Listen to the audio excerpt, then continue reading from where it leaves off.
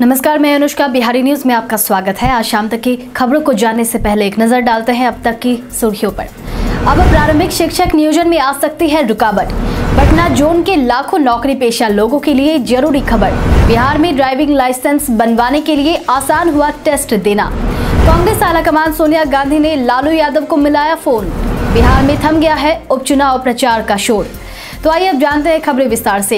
EOU ने जारी किया दारोगा संजय प्रसाद की काली कमाई का ब्यौरा। बीते दिनों आर्थिक अपराध इकाई की टीम ने छपरा के डोरीगंज के दारोगा संजय प्रसाद के अलग अलग ठिकानों पर रेड किया था, जिसके बाद उसके काले चिट्ठे सामने आ गए हैं। जानकारी के अनुसार की गई कार्रवाई के दौरान उनके आय से अधिक चौबीस लाख से ज़्यादा की संपत्ति अर्जित करने का पता चला है। मुजफ्फरपुर में उनकी पत्नी के नाम पर ज़मीन और दो लाख तीस हज़ार कैश भी बरामद किए गए हैं। इसके अलावे उनके बैंक खाते खाते से सात लाख दस हज़ार के एल आई सी ग्यारह लाख चौबीस हज़ार का इन्वेस्टमेंट भी सामने आया है। वहीं एक और खुलासा हुआ है, जिसके मुताबिक साल 2015 में मई महीने से लेकर अक्टूबर 2017 के बीच उनके वेतन से एक रुपए भी निकासी नहीं की गई, फिर भी उनका खर्च चलता रहा। ऐसे कई सबूतों के सामने आने के बाद ईओयू ने उनके सभी बैंक खातों को फ्रीज कर दिया है। माध्यमिक और उच्च माध्यमिक के बाद अब प्रारंभिक शिक्षकों के नियोजन में आ सकती है रुकावट। बिहार में शिक्षक नियोजन को लेकर एक बड़ी खबर सामने आई है। माध्यमिक और उच्च माध्यमिक शिक्षकों के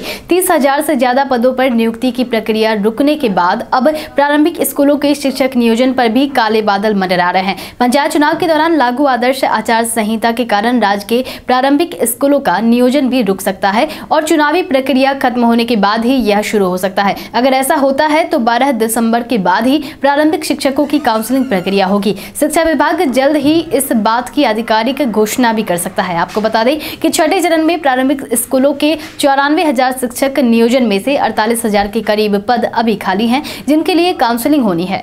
यूपीएससी में दसवीं रैंक लाने वाले समस्तीपुर के सत्यम कुमार का हुआ भव्य स्वागत। बिहार के दो लालों ने इस बार यूपीएससी के टॉप टेन में जगह बनाई, जिसकी खुशी अब भी ज़ाहिर की जा रही है। इसका नज़ारा तब देखने को मिला जब बीते दिन यूपीएससी परीक्षा में दसवीं रैंक लाने वाले समस्तीपुर के दिगरा गाँव के रहने वाले सत्यम कुमार गांधी दिल्ली से दरभंगा एयरपोर्ट पहुँचे, जहाँ दरभंगा एयरपोर्ट पर उनका भव्य स्वागत किया गया। इस दौरान स्थानीय कोचिंग क्लास की टीम और सत्यम के ननिहाल के सैकड़ों लोगों ने उनका स्वागत किया। तो वहीं इस दौरान मीडिया से बात करते हुए सत्यम गांधी ने कहा कि दिल्ली जाने से पहले वे इस सपने के साथ गए थे और इसे लगातार मेहनत कर हासिल किया। वहीं उन्होंने कहा कि बचपन से गाँव में परवरिश होने के कारण उनका मन गाँव में रमा है। वे ग्रामीण क्षेत्रों के विकास करने के साथ ही यहाँ के बच्चों का मार्गदर्शन करना चाहते हैं। हाईकोर्ट ने सैनिटरी हेल्थ इंस्पेक्टर बहाली के मामले में की सुनवाई। पटना हाईकोर्ट ने बीते दिन मंगलवार को बिहार में सैनिटरी हेल्थ इंस्पेक्टर के बहाली के मामले में सुनवाई की और इस मामले में राज्य सरकार और बीएसएससी को चार सप्ताह में जवाब देने का निर्देश दिया है। दरअसल पूरा मामला बहाली प्रक्रिया को अधूरा छोड़ देने से जुड़ा है। दो हज़ार सोलह में बीएसएससी ने दो सैनिटरी हेल्थ इंस्पेक्टर के लिए विज्ञापन निकाला था, जिसके बाद दो हज़ार उन्नीस में परीक्षा और अगस्त दो हज़ार बीस में रिज़ल्ट के बाद उसी महीने सफल उम्मीदवारों को काउंसिलिंग के लिए भी बुलाया गया। लेकिन कमीशन ने नोटिस जारी करके मात्र 33 उम्मीदवार को ही इंटरव्यू के लिए बुलाया था, जबकि विज्ञापन के अनुसार दो सौ छिहत्तर पदों पर भर्ती होनी है। इस मामले में याचिका डालने के बाद अब हाईकोर्ट ने चार सप्ताह में जवाब मांगा है।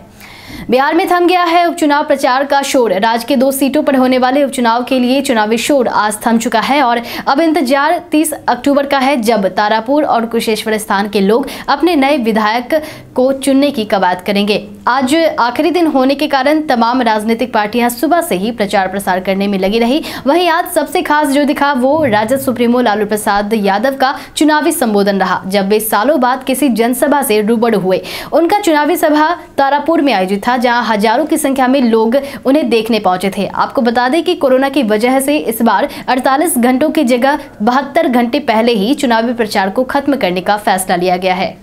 बिहार में ड्राइविंग लाइसेंस बनवाने के लिए आसान हुआ टेस्ट देना। ड्राइविंग लाइसेंस तभी जारी हो सकता है जब लाइसेंस बनवाने वाले को एक टेस्ट देना पड़ता है। कई लोग टेस्ट के भारी नियमों के कारण लाइसेंस नहीं बनवा पाते थे, जिससे उन्हें परेशानी होती थी। मगर बिहार में परिवहन विभाग ने अब इन नियमों में थोड़ी राहत दे दी है, जिसके तहत आसानी से लाइसेंस आप बनवा सकेंगे। पहले के नियम के अनुसार पहले आवेदकों को गाड़ी चलाते हुए दो बार आठ बनाना पड़ता था, जिसमें एक बार भी ज़मीन पर पैर रखने पर फेल माना जाता था। मगर अब दो बार पैर ज़मीन पर रखने का मौका दिया जाएगा, जिसमें उन्हें फेल नहीं माना जाएगा। यह नया नियम सोमवार से लागू है। इसमें अस्सी फ़ीसदी तक आवेदकों के पास होने की उम्मीद है। इसके तहत पटना में कंप्यूटराइज्ड टेस्टिंग ट्रैक तैयार कर लिया गया है, जो कि खुद ही टेस्ट को रिकॉर्ड कर लेगा। इसके साथ ही बाकी जिलों में भी इन्हें बनाने की योजना है।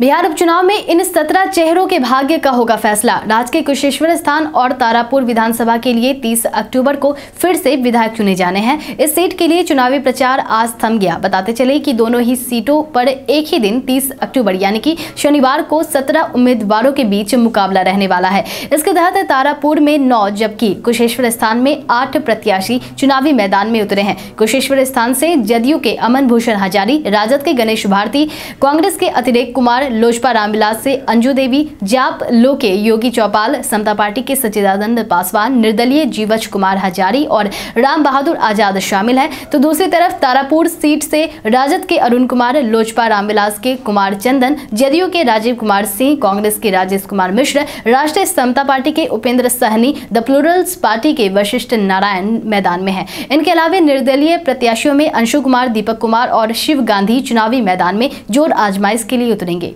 बिहार में पाँच जिलों से नए कोरोना संक्रमितों की हुई पुष्टि। सुबह बिहार में ताज़ा आंकड़ों में कोरोना के मामले पहले की अपेक्षा थोड़े बड़े हैं।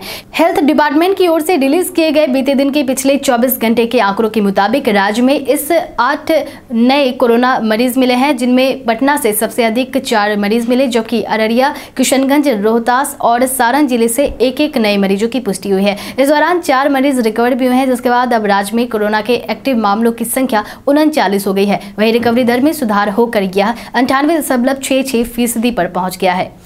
तेज प्रताप यादव ने पिता के साथ वाले खास लम्हे को किया शेयर। बिहार की सबसे बड़ी विपक्षी पार्टी राजद में ही बीते दिनों अंदरूनी उठापटक खूब देखने को मिला और इस सिलसिले को किसी और ने नहीं, बल्कि लालू यादव के बड़े बेटे तेज प्रताप यादव ने ही कई बयान देकर किया था। हालाँकि अब वे इन सब की भरपाई करते नज़र आ रहे हैं और अपने पिता लालू प्रसाद यादव से नजदीकियाँ सभी को दिखाने की कोशिश भी कर रहे हैं। इसका सबूत हाल में उनके द्वारा शेयर किया गया एक वीडियो है, जिसमें वे अपने पिता और राजद सुप्रीमो लालू प्रसाद यादव यादव से राजनीति का गुड़ सीखते नज़र आ रहे हैं। तेज प्रताप यादव ने वीडियो जारी करते हुए लिखा कि आज पिताजी के साथ उनके संघर्ष के दिन जेपी आंदोलन पर चर्चा हुई, जिसमें पिताजी ने बताया कि किस तरह उन्होंने छात्र किसानों की आवाज़ को बुलंद किया था और उनका कहना है कि आज़ादी मिलती नहीं है, छीनी जाती है। पटना जोन के लाखों नौकरी पेशा लोगों के लिए ज़रूरी खबर। पटना जोन के सभी नौकरी पेशा लोगों के लिए अहम सूचना है। पीएफ खाते में जमा राशि पर मिलने वाले ब्याज को लेकर उहापोह अब खत्म हो गई है, जिसके परिणाम स्वरूप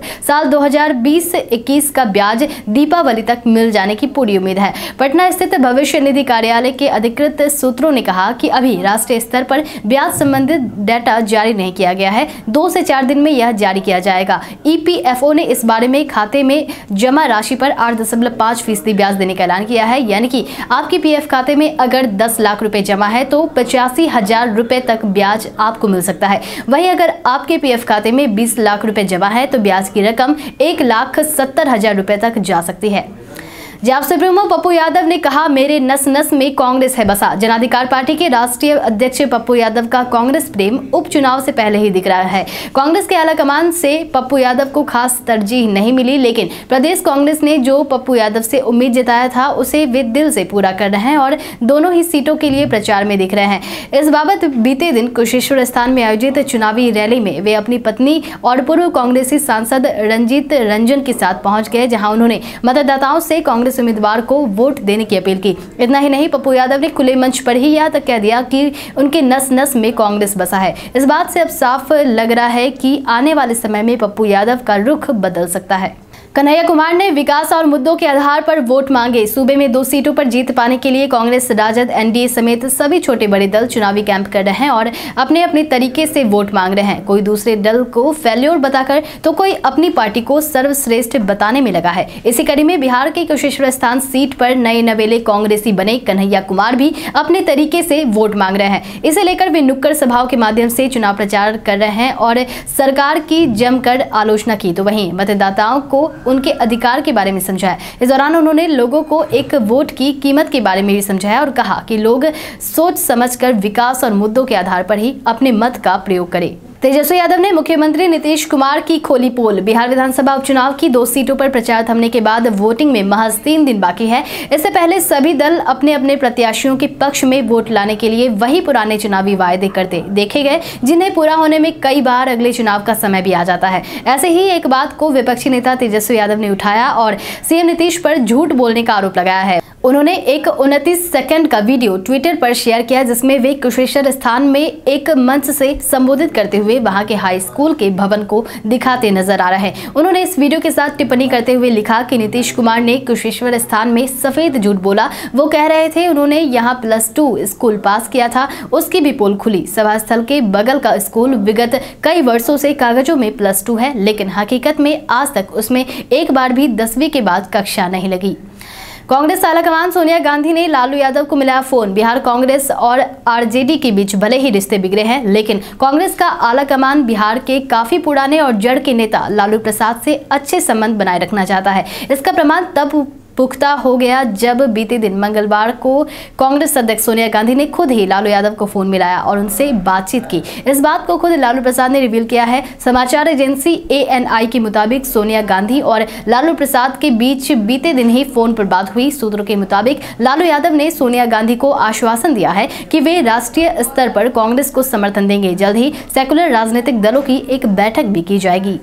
पाकिस्तान के खिलाफ डेब्यू टेस्ट में ही धमाल मचाने वाले इरफान पठान का है आज जन्मदिन। भारतीय क्रिकेट टीम के पूर्व ऑलराउंडर इरफान पठान आज अपना सैंतीसवां जन्मदिन मना रहे हैं। उनके नाम एक ऐसा वर्ल्ड रिकॉर्ड है जो दुनिया के किसी भी गेंदबाज के नाम नहीं है। सत्ताईस अक्टूबर उन्नीस सौ चौरासी को गुजरात के बड़ौदा में जन्मे इस बाएँ हाथ के तेज गेंदबाज इरफान पठान ने टेस्ट मैच के पहले ओवर में हैट्रिक लेने का रिकॉर्ड बनाया हुआ है। ऐसा करने वाले वे दुनिया के इकलौते गेंदबाज है। उन्होंने यह कारनामा साल दो हज़ार छह में पाकिस्तान दौरे पर किया था। साल 2007 के टी विश्व कप के फाइनल मैच में प्लेयर ऑफ़ द मैच रहे इरफान पठान ने अपने इंटरनेशनल क्रिकेट करियर की शुरुआत साल 2003-2004 ऑस्ट्रेलिया के दौरे से की थी। तो चलिए बढ़ते हैं आज के सवाल की ओर। आज का सवाल कुछ इस प्रकार है कि आपके अनुसार बिहार के सरकारी दफ्तरों में अधिकारियों का व्यवहार वहाँ आने वाले लोगों के प्रति बेहतर रहता है या फिर नहीं? आप अपने जवाब हमें कमेंट सेक्शन में कमेंट करके ज़रूर बताएँ और बिहार से जुड़े खबरों से अपडेटेड रहने के लिए जुड़े रहें बिहारी न्यूज़ के साथ। तब तक के लिए नमस्कार। ನಮಸ್ಕಾರ